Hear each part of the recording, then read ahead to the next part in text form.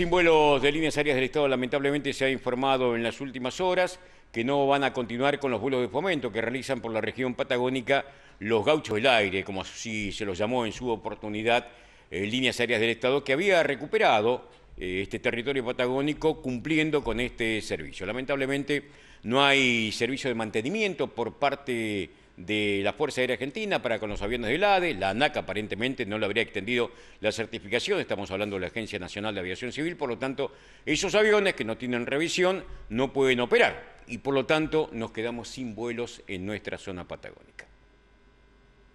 Realmente es una noticia triste para nosotros, los comodorenses, que estamos siempre bregando para el mejor desempeño y desarrollo de nuestra ciudad a través de los aeropuertos y a través de la conectividad la quita del certificado de ANAC de la y eso ha sido de alguna forma una revisión que no han podido pasar por alto y ANAC especialmente es la encargada de hacer el control de certificación para que las máquinas puedan o no ejercer su, su conexión con los distintos aeropuertos.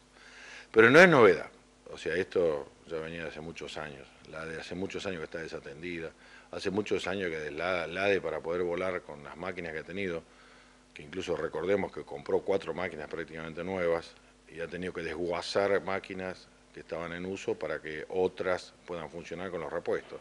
Y eso en las técnicas aeroportuarias internacionales no es permitido. Así que eso ha sido de alguna manera una caída, digamos, que hemos tenido. No obstante ello, lo que, lo que tenemos que bregar es de que sí existen perspectivas en este aeropuerto. Nunca dejemos de lado las perspectivas hermosas que tenemos a partir de que eh, tenemos un aeropuerto nuevo y hay perspectivas de inversiones de otras compañías que están tratando de invertir en nuestro aeropuerto. Estas compañías, por ejemplo, en el caso nuestro, nosotros vamos a tener una compañía como LASA que va a empezar a unir el norte con el sur patagónico lamentablemente todavía no va a empezar. El primer vuelo inaugural va a ser el día 6 de julio y va a unir el norte patagónico, va a unir Mar del Plata con Bahía Blanca, con Santa Rosa, con Neuquén. Y de ahí se va a bifurcar para Chile. Esta misma compañía LASA tiene un LASA Chile. O sea, son empresas argentinas radicadas en Chile y va a usar Temuco y Puerto Montt.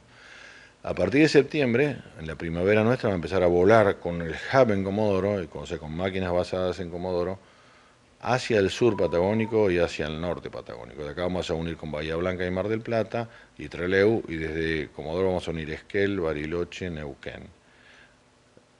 A partir de Comodoro todo el sur, o sea, vamos a hacer Comodoro Gallegos, Gallegos Río Grande, Ushuaia y Calafate.